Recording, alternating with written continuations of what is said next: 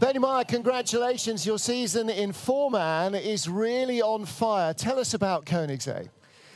Um, well, it's, it's, always been like my favorite track. Uh, we're here a lot in the summer for training, also preseason training. So I would consider that as my home track.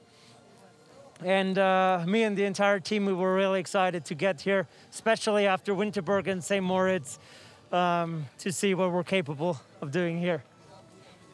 Well, we've seen what you're capable of when you're fit and healthy, and the whole crew are fit and healthy, and that makes a big difference because if you've got to start, you can race. Um, yeah, that, that, was our main focus for this season was to be fit and healthy, and I think uh, it, it plays a huge part in our motivation. Um, like every race, we try to push ourselves even further, and it's a lot of fun. We enjoy it right now. So one more World Cup race in Innsbruck and then the World Championships. What are your thoughts looking forward? Uh, I really look forward to Altenberg.